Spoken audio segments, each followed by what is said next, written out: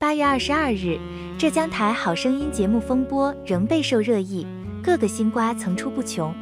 在这个节骨眼上，知名歌手海明威出面发布了一段文字，疑似是在揭露《好声音》的内幕，并将矛头对准了那英姐妹两人。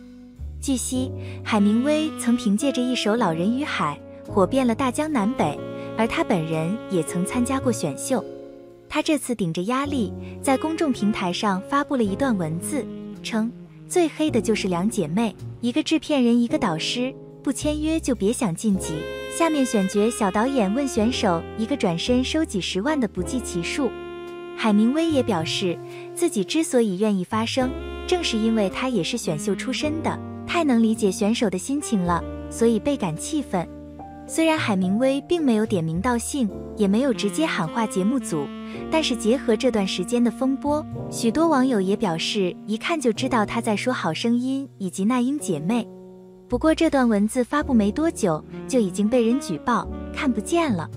海明威也发了一句话：“和谐社会，大家七夕快乐。”除了发文，海明威还转载了李玟学员为李玟说话并痛斥节目组的文章。海明威表示：“终于有人说真话了。我以一个职业歌手的立场告诉你们，真相比这个可怕一百倍。”除此之外，他还隔空喊话中纪委，希望有关部门赶紧调查去查一下。之所以牵扯到了那英姐妹，是因为此前曾有网友扒出那英的姐姐兼经纪人那欣是中国好声音的创始人，还是灿星公司的大老板，而那英更是担任了八期好声音的导师。还曾有好声音的学员曝光被那欣等人骗着签约等往事。事后，那欣发文回应，表示自己现在并不是灿星的老板，不过也承认了之前曾在该公司工作，也同时否认了学员的爆料，双方各执一词。就在舆论愈演愈烈后，某音乐节主办方出面发文称，原本要于近日参演的那英自称身体欠佳，请辞了演出。这也被网友猜测是不是在避风头。同样在八月二十二日，上海春浪音乐节发布正式公告，称那英因身体原因将请辞本次演出活动。对此，节目方深表歉意，并对大众承诺，未来的音乐节里一定会再次请那英登场。对于这个消息，不得不说太遗憾了，毕竟上海春浪音乐节早在年初就已经邀请了那英。而那英也很爽快地答应了，没想到临近开演，竟然出了这种事。因此，不少网友也劝说那英，不管什么事，身体要紧，好好休息，以后还有机会参加音乐节。不过，更多的网友却是一副看热闹的样子，认为那英其实没有生病，就算有病，也是被气出来的。还有网友评论称，那英现在处于风口浪尖上，是不可能轻易露面的。所以找个借口躲着，要不然到时候气氛热烈，真成了众矢之的，再被人发出来，这老脸往哪搁？再说节目方也不希望因为那英背后的争议导致活动出现什么差错，所以不参加对彼此都是最好的选择。如果真的在现场被抵制，那后果不堪设想。可能那英可能想不通为何会被反噬，其实这不过是没话语权的打工人。被欺压了太久，一点小小的反抗而已。据了解，自从刀郎发布新歌《罗刹海市》后，那英是被牵连最深的人。无数网友纷纷跑去视频账号下评论，各种讽刺和谩骂。对此，那英也从未做出回应，自己的账号也没有做禁言设置，任凭网友们肆意发泄。可谁能想到，《罗刹海市》风波还没消停。中国好声音又因李玟录音被推上了风口浪尖，而那英作为该节目参与次数最多的导师，自然也成了被攻击的对象。截止目前，那英视频账号下的评论数量已经再次创下新高，突破了一千万条。尽管多数都是吐槽的声音，但这个记录也算是刷新了大众的认知。刀郎开通短视频账号，短短几天内涨粉五百万。而且一个作品都没发布，而那英是什么都没做，被网友们怒刷了一千条留言。这一对比真的是好笑又讽刺。所以说，现在的那英正被架在大火上烤，哪里有她的身影，哪里就会有骂声。即便是想解释什么，估计也是无济于事。因此还不如低调行事，等一切尘埃落定再说。据网上爆料，《中国好声音》的创始人那欣是那英的姐姐。这段时间里，该节目被曝光了很多不为人知的内幕，以至于那英姐妹也被殃及。不过事实上，那新只投资了《中国好声音》的第一季，后续因与节目方理念不合，选择了退出。所以大家还需理性看待。至于那英，的的确确是担任了好几期《中国好声音》的导师，带出了三个好声音冠军，分别是梁博、张碧晨、张磊。尽管成绩不错，但那英的风评并不好，尤其是那一届她没有选择周深，让很多人都表示不满。所以这里面到底有多少内幕，谁也说不清楚。但值得一提的是，歌手海明威在关注这件事后，专程发文疑似吐槽《中国好声音》。他表示最黑就是两姐妹，一个制片人，一个导师，不签约就别想晋级。下面选角小导演问选手，一个转身收几十万的不计其数。而在八月二十日，海明威就有发文表明自己的看法，称这个节目黑暗圈内公认的了，只是大家都不想得罪人，全部都是在演戏，节目就是他们俩姐妹的搞钱工具，真是苦了太多太多的好歌手了。本以为海明威是知道点什么，结果在发文没多久，他就删除了内容。这让不少网友表示迷惑，认为他是在蹭热度。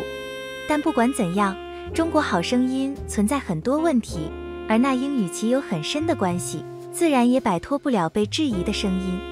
无论结果如何，这件事之后，那英的黑粉会是越来越多。前一段时间，那英的短视频账号发布的最新动态评论数量正式突破了一千万，而恰巧在一个月前。刀郎发布了他的新歌《罗刹海市》，两个事件的时间点巧合的交汇在一起。近日，那英再次成为热搜话题，但这一次与之前与刀郎的争议不同，焦点集中在李玟和《好声音》上的波折。据透露，在李玟生前的一段录音中，她情绪激动地揭示了节目组存在的不公平现象。尽管她患有腿部疾病和乳腺癌，但她因对节目的热爱而坚持下来。然而，一系列的打击接连而来，如波浪般涌向他。不公平的比赛规则、强制离场、无理的嘲讽，甚至因站位问题导致他跌倒，最终加剧了他的病情。节目中，一位名叫柳离的导演因与李玟的冲突引发众怒，他的行为明显超越了导演的职责范围。当他受到质疑时，他的回应更加引发公众愤怒，试图将自己塑造成受害者形象。然而，背后的真相复杂重重，与那英关系密切的那欣浮出水面。那欣不仅是好声音的创始人，还是那英的亲姐姐和经纪人。一旦这种关系被网友揭示，引发了对节目幕后运作机制的好奇和质疑，人们不禁思考。为什么只有拥有少数几首代表作的那英能够成为节目导师？网友们纷纷在那英的评论区展开热烈的讨论。有人说，难怪那英一直在导师椅上稳坐不动，原来有个亲姐姐；也难怪那三个导师会联手抨击刀郎，原来大家都在为保住导师的位置而努力。还有人戏称，内部勾结从不缺乏高雅的外衣，这是历史上的常态。也有人直言不讳，姐妹携手合力捞金，所以导师汪峰和杨坤在过去贬低刀郎时，或许是为了保住导师席位。虽然那英的唱歌才华和声音才能毋庸置疑，但是她的创作能力有限，作品数量有限，这使得她成为导师时引发了许多质疑。随着自称为素人提供公平音乐竞技平台的好声音节目逐渐崩溃。那英作为导师的资历也受到了部分网友的怀疑。那欣和那英二人都出生于医学世家，从小在父亲的影响下，他们本应遵循高尚的职业道德。然而，一旦踏入娱乐圈这片三寸黄泥地，他们却开始随波逐流，完全打破了规则和原则。无论是田震事件还是刀郎事件，那英所谓的坦率直率，给他带来了不少负面新闻和隐患。虽然这些年来，这对姐妹凭借着敏锐的商业眼光，使那英的事业不断攀升，但是当潜在的风险爆发时，舆论的洪流也将无情而来。此外，多届《好声音》节目中有许多优秀选手被无情遗漏。起初，人们可能只将之归因于娱乐圈的残酷和机遇的不可预测性。然而，随着李玟通话录音的曝光，人们开始关注节目是否存在不当操控和暗藏的利益。那英和那欣的行为引发我们深思：权力和地位是否会让一些人丧失基本的道德底线？作为《好声音》的创始人，那欣拥有巨大的影响力。他的行为不仅关系到个人品德，还代表了这个节目的公正性。